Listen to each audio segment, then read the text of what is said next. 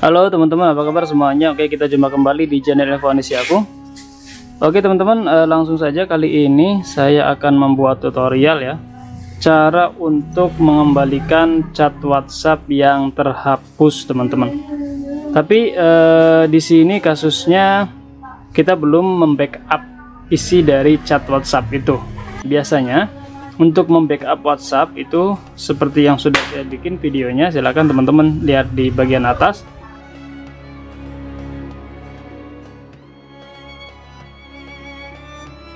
Oke caranya seperti ini teman-teman. Yang pertama teman-teman silahkan siapkan dulu aplikasi file manager ya atau file explorer. Bebas.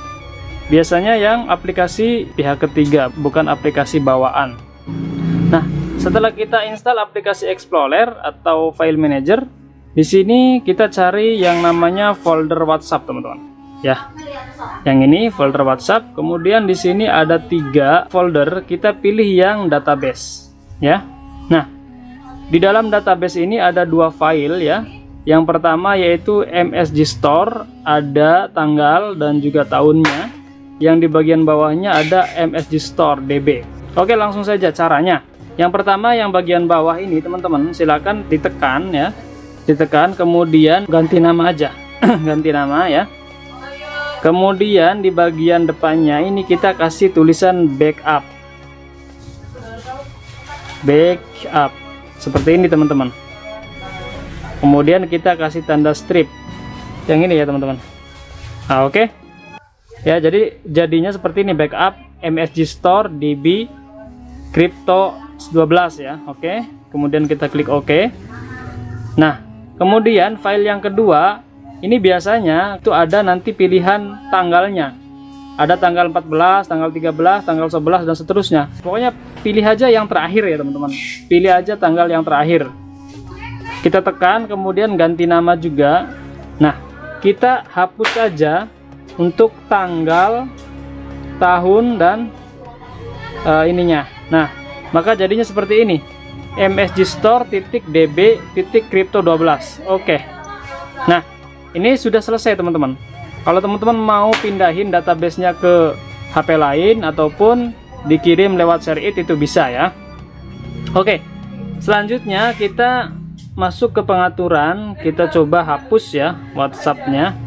Oke ini kita hapus penyimpanan. Hapus data ya. Atau teman-teman bisa hapus instalan juga nggak apa-apa biar teman-teman yakin. Kalau chat WhatsApp kita ini benar-benar bisa dikembalikan. Nah kita install ulang aja coba ya. Kita install ulang WhatsApp. Oke teman-teman sambil nunggu download WhatsAppnya selesai jangan lupa teman-teman klik subscribe ya teman-teman agar teman-teman tidak ketinggalan info terbaru dari Infonesia aku. Nah oke kita buka kita buka. Kita gunakan WhatsApp seperti waktu pertama kali kita bikin ya yaitu masukkan nomor. Masukkan nomor yang digunakan WhatsAppnya. Oke. Nah di sini akan meminta kode ya. Nah handphone yang saya gunakan untuk meminta kode itu di sini ya. Jadi saya tunggu SMS dari WhatsApp. Tapi kalau kartu yang digunakan itu dalam satu handphone maka biasanya otomatis dia. Nah ini kodenya teman-teman. 549 093 oke. Oke kita kemudian klik lanjut. Klik izinkan.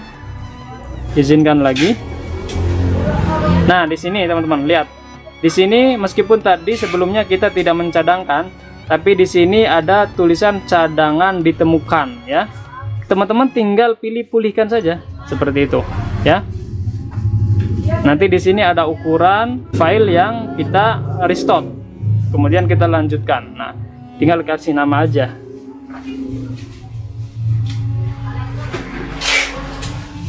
Oke.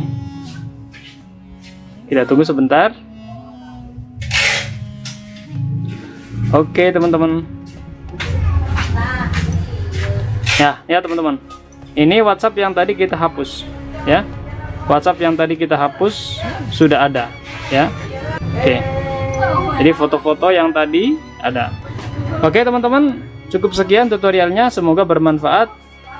Jangan lupa klik like dan juga subscribe agar teman-teman mendapatkan update info terbaru dari Indonesiaku sampai jumpa